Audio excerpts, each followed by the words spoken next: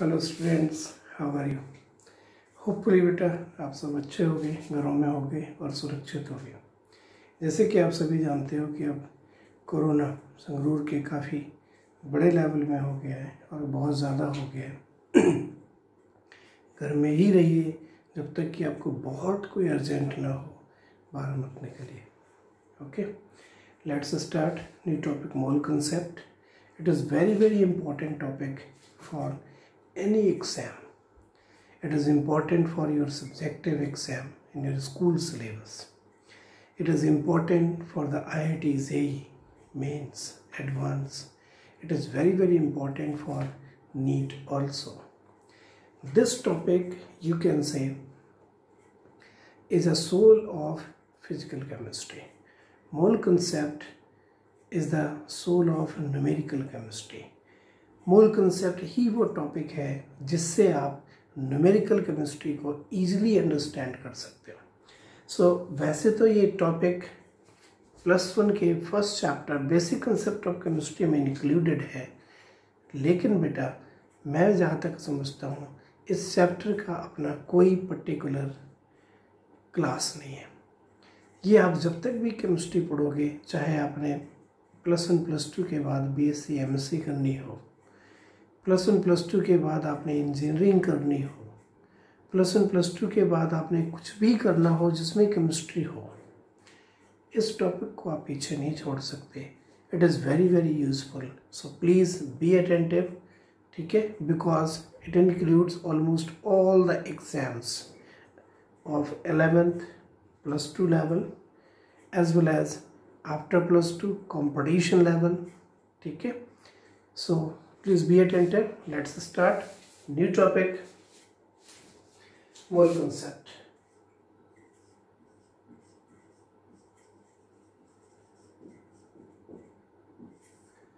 जैसे कि बेटा मैंने पहले डिस्कस करा है the term mole means collections और heap और pile कोई भी चीज़ इकट्ठी हो, ढेर हो, ठीक है, वहाँ पे इस मोल वर्ड की मीनिंग आती है। ठीक है, इंग्लिश में मीनिंग ये है, वैसे मोल लैटिन यूनान से है, वो वर्ड है। ठीक है as you know about mole it's a basic fundamental basic और fundamental unit of amount of the chemical substances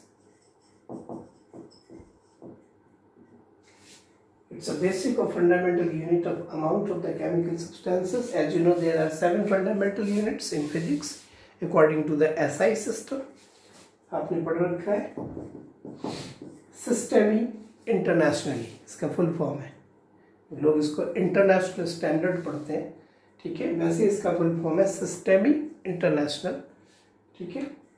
ये फ्रेंच में जो है 1958 से 1962 के बीच में इवॉल्व हुआ था ये सिस्टम और फिर इसके बाद internationally globally it is considered मतलब हर कंट्री का अपना अलग सिस्टम भी हो सकता है। Every country has its measurement system national metrology but international globally recommended it is a SI system इसकी जो सेवन फंडामेंटल यूनिट्स हैं उनमें से एक फंडामेंटल यूनिट है mole and it basic fundamental unit amount of the chemical substances now how can you define a mole there are so many definitions of mole but according to Avogadro great scientist Dimitri Avogadro according to Avogadro's hypothesis एक experimental effect और calculated value को इन्होंने include करा according to him any substance is said to be 1 mole if it has these numbers. That is 6.0224 times 123 numbers is related with 1 mole of the substance. Please note this. This number is known as Avogadro number. आप में से ज़्यादातर बच्चों ने ninth में ये सुन भी रखा है, पढ़ भी रखा है बट नाइन्थ में जस्ट जो आपने मोल कंसेप्ट पढ़ा है it is up to the introduction level अभी जो सब्जेक्टिव कर रहे हैं बच्चे, उनके लिए तो अभी भी बहुत ज़्यादा नहीं है। डेफिनेशंस के साथ simple numericals based on formula but if you have competitive exam students ठीक है I I T aspirants NEET aspirants और other competitive aspirants then you have to study in detail. So the basic concept is the first definition also about mole. According to Avogadro's hypothesis, any substance is said to be 1 mole if it has 6.0224 times per 23 numbers. This number is known as Avogadro number. Now, according to this definition, let's see some examples and be clear about mole. Suppose you have 1 mole sodium atoms. It means what? It means you have 6.0224 times power 23 sodium atoms. Clear? If you have 1 mole potassium atoms, no doubt you have these number of potassium atoms.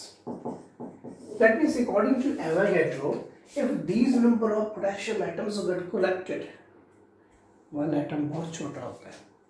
One atom को हम देख भी नहीं सकते pick भी नहीं कर सकते अंडरस्टैंड ठीक है? लेकिन अगर आप कहीं से भी इतने नंबर ऑफ़ एटम्स इकट्ठे कर लो then that particular amount according to this concept is set to be one If you have atoms of 1 mole, then you have these number of atoms. If you have, suppose, 1 mole of electrons, so definitely you have these number of electrons. If you have 1 mole of water molecules, मेरे कहने का मतलब है जिस चीज़ का आप one mole लोगे उसी के नंबर्स होंगे बहुत से बच्चे क्या करते हैं मैं कहूँगी वन मोल वाटर मॉलिक्यूल्स में कितने हाइड्रोजन एटम्स हैं सो रिमेंबर अगर मॉलिक्यूल्स दिए हैं और एटम्स निकालने हैं तो एक अलग चीज़ होगी बट पहले डायरेक्ट नंबर्स देख लो if you have one mole of water molecules so basically you have 6.0224 times for 23 water molecules. Noted? अगर यहाँ पे one mole of water molecules है तो यहाँ पे भी वाटर मॉलिक्यूल्स ही होंगे atoms नहीं होंगे electrons are the electrons one more protons the protons so overall if we compare Avogadro number with the given numbers we can find out number of moles अगर आपको किसी पर्टिकुलर अमाउंट में number of moles find out करने हैं then note this formula number of moles if we have to calculate then it is given number of the species divided by Avogadro number. Avogadro's number. For example, इसने एक question दिया calculate number of moles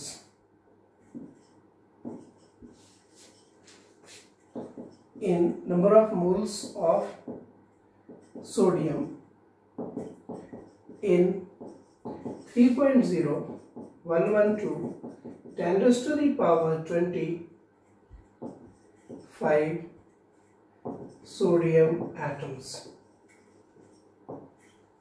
ठीक है, मैंने कहा इतने sodium atoms में बताओ सोडियम के कितने मोल्स तो पहले ध्यान से देखिए सोडियम के मोल्स निकालते हैं। सोडियम के ही नंबर्स गिवन है। क्या गिवन है? नंबर ऑफ़ सोडियम गिवन है। So number of moles of sodium we can find out by this formula ये लिखा है ऊपर। By this formula. And formula is what? Given number of the species, it is 3.0112 10 square 25 divide by Avogadro number ये given number थे sodium atoms के Avogadro number is would six point power twenty three so write at six point power twenty three solve this solve करना आता है. वैसे तो आपको ज़्यादातर कैलकुलेशंस केमिस्ट्री में ऐसी मिलेंगी जहाँ बहुत ज़्यादा आपने मल्टीप्लाई डिवाइड नहीं करना, ठीक है? बट पावर्स कब माइनस करते हैं पावर का प्लस करते हैं पावर कब ऐड करते हैं। क्या करते हैं, क्या नहीं करते? छोटे मोटे कैलकुलेशंस तो आने ही चाहिए इस लेवल में। So this is approximate one by two ये इसका डबल है। और ये ट्वेंटी थ्री है और ये ट्वेंटी फाइव है। तो जब ये ट्वेंटी थ्री ऊपर जाएगा तो ट्वेंटी फाइव से माइनस होकर जाएगा और सिर्फ़ टू बचेगा। That is one by two into ten is power two समझ गए होंगे? Ten is power two is hundred by two so it comes out fifty moles of sodium ये बना इसका आंसर ठीक है? तो अगर आपको नंबर्स दिए हैं और नंबर्स के टर्म्स में आपने मोल फाइंड करने हैं तो ये सबसे इजी तरीका है. How can you find out number of moles ठीक है? यू कैन सी समझ गए?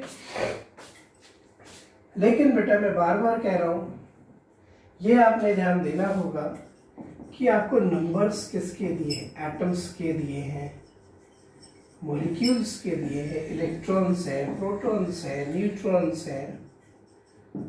ठीक है? किसके नंबर्स दिए हैं और किसके मोल्स फाइंड करने जिसके नंबर्स दिए हो। ठीक है? उसमें एवागेड्रो नंबर से अगर डिवाइड करेंगे तो जिसके नंबर्स गिवन है, उसी के मोल्स आएँगे। ठीक है? Let's see here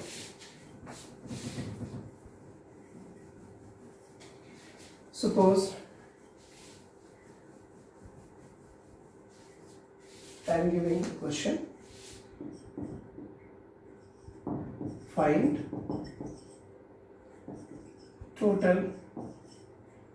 number of moles of electrons in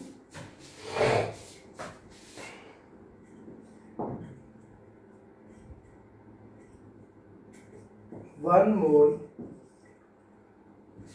yeah accessory in 3.0112 10 to the power 24 electrons. इतने इलेक्ट्रॉन्स में इलेक्ट्रॉन्स के कितने मोल्स हैं? So the formula number of moles of electrons equal to given numbers divide by electrons के ही moles निकाल दिए electrons के ही नंबर्स गिवन है। ध्यान से देखिए। ठीक है? So given number of electrons divide by Avogadro number of electrons Avogadro number में 6.0224 10 पर 23 होता है। अगर आपको कैलकुलेशन मुश्किल लगती है 6.0 ले लो, चल जाएगा काम। ठीक है? So it's 1 by 2 and it is 10 ये 24 है 23 23 माइनस हो गया सिर्फ़ एक बची पावर तो 10 हो गया। ठीक है? और ये 1 बाई टू है। So it is 1 by 2 into 10 that is 5 moles of electrons. देखो, ये आपका मैटर है कि आप कैलकुलेट कैसे करते हो। मुझे इससे कोई प्रॉब्लम नहीं है, ठीक है? अगर आप मेरे अकॉर्डिंगली मेथड समझ पा रहे हो तो ऐसे कर लो, नहीं तो जो जैसे आपको आता हो कैलकुलेट करना, वैसे कैलकुलेट कर लीजिए। Let's see more difficult questions, little bit more difficult. जैसे मैंने कहा calculate total number of atoms in one mole of water molecule मैंने कहा, आपके पास एक मोल वाटर मॉलिक्यूल है। Total number of atoms and one mole of water molecules ठीक है? वन मोल वाटर मोलिक्यूल्स में एटम्स कितने हैं? अब देखिए, ये शब्दों का एयरफेयर होना शुरू हो गया और 99 परसेंट बच्चों को यही दिक्कत आने लगती है। उनको क्योंकि दो ही चीज़ें आती हैं, या तो मल्टीप्लाई या डिवाइड वो ये भूल जाते हैं कि हमसे एटम्स पूछा है मोलिक्यूल्स दिए मोलिक्यूल्स पूछे एटम्स दिए एटम्स और मोलिक्यूल्स दिए इलेक्ट्रॉन्स पूछे then you have to know about further with in the atom और मोलिक्यूल्स किसी मोलिक्यूल में कितने एटम्स हैं? देन मल्टीप्लाई करिए। ठीक है? जैसे सपोज़ करो, मैंने आपको एक ऑरेंज दिया पूरा कंप्लीट ठीक है? और मैंने कहा, एक ऑरेंज में कितने पार्ट्स हैं? वो जो आप पार्ट्स कटिंग करते हो ना, ठीक है? अब मान लीजिए कि एक ऑरेंज में सिक्स पार्ट्स सिक्स आठ मान लीजिए एट पार्ट्स हैं। सो वन ऑरेंज में एट पार्ट्स हैं। मैंने कहा वन होल ऑरेंज में कितने पार्ट्स होंगे? अब अगर एक ऑरेंज में एट पार्ट्स हैं उसके छोटे छोटे जो कटिंग किए हैं आपने, ठीक है? वन ऑरेंज में एट पार्ट्स हैं तो वन मोल ऑरेंज में कितने पार्ट्स होंगे? एट मोल्स और eight multiplied by get number मतलब फर्दर मल्टीप्लिकेशन होंगे। You have to understand this thing पहले आप सिंपली समझिए। मान लीजिए अपने पास वाटर मॉलिक्यूल है। Analyse the water molecule one water molecule contains two hydrogen atoms एक वाटर मॉलिक्यूल्स में दो हाइड्रोजन एटम होते हैं. राइट वन वाटर मॉलिक्यूल्स में वन ऑक्सीजन एटम्स हैं. बोलिए. वन वाटर मॉलिक्यूल्स में टोटल थ्री एटम्स हैं. टोटल थ्री एटम्स है। दो हाइड्रोजन और वन ऑक्सीजन कितने एटम्स हैं total one water molecules have three atoms मैंने आपसे टोटल नंबर ऑफ़ एटम्स पूछे in one mole water molecules देखो one mole water molecules do you know in one mole water molecules how many water molecules you have in one mole water molecules according to Avogadro we have 6.0 these number of water molecules. बताइए one mole water molecules में इतने water molecules हैं या नहीं है? मैंने कहा आपको वन वाटर मॉलिक्यूल्स में टोटल एटम्स कितने हैं? थ्री है। ठीक है? अब वन मोल वाटर मॉलिक्यूल्स में कितने एटम्स होंगे? तो one mole water molecules have these number of water molecules one water molecules have three atoms total atoms कितने हो गए? Total atoms in one mole water molecules equal to six point zero two two 6.022 times per 23 into 3 all type of atoms in one mole water, क्योंकि एक mole water में इतने molecules हैं और एक मॉलिक्यूल्स में थ्री एटम्स हैं। Further multiply ठीक है? एक मोल वाटर में कितने water molecules six point zero two two four times four twenty three ठीक है? और एक वाटर मॉलिक्यूल में थ्री एटम्स हैं। तो वन मोल वाटर मॉलिक्यूल्स में टोटल एटम्स हर एक वाटर के थ्री थ्री एटम्स हुए तो वन मोल में जब इतने multiplied by three so you have to understand all these calculations ठीक है? So these are the simple calculation about numbers and moles कई बार आपको मोल्स गिवन होंगे नंबर्स फाइंड करने होंगे, कई बार नंबर्स गिवन होंगे मोल्स फाइंड करने होंगे। Okay so let practice this formula जो भी आपके पास बुक अवेलेबल है, उससे इस फॉर्मूले की प्रैक्टिस करो। They are some other definitions will be discuss in the next video okay thank you